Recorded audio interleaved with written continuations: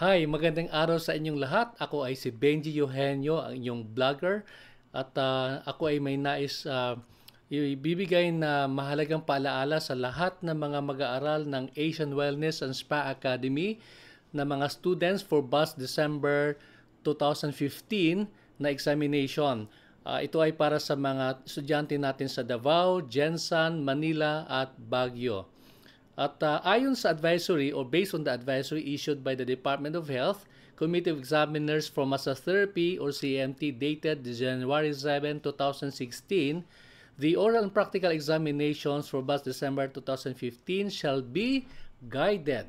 Remember, tandaan po natin, guided by revised 5-stroke manipulations. So, ulitin ko po, ito po ay ayon po sa advisory na ibinigay po ng ating kagawaran ng pangkalusugan at uh, komite ng examiner para sa massage therapy, uh, naglabas po sila ng announcement kamakailan lamang patungkol sa oral practical examinations. At idinidiin po natin at sinabi po nila na ang examination po ay maging uh, maging ang gabay po ay susundin po yung tinatawag na revised five stroke manipulations.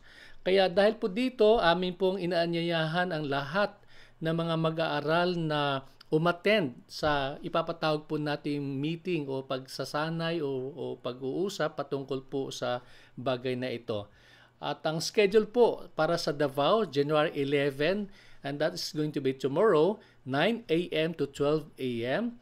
At ang Manila naman po ay gaganapin ang pagsasanay, ang, ang meeting na ito sa January 13, 9 a.m. to 12 uh, noon din and it will be held sa AUSA Manila uh, office at ang mga estudyante po natin, students in AUSA, Jensen, and Baguio shall be advised accordingly. No? And remember, this meeting is going to be free. Wala po kayong babayaran, kaya inanyayahan po namin ang lahat ng mga estudyante na kung kaligtaang dumalo sa meeting na ito upang sa gayon ay lalo natin mapaghandaan ang inyong uh, darating na pagsusulit, no? Ito yung pinakahuli na pagsusulit na gaganapin ninyo o gagawin ninyo para inyo maatim ang inyong inaasam-asam na DOH massage license. Maraming maraming salamat po. Ako muli ay si Benji Eugenio, ang inyong vlogger.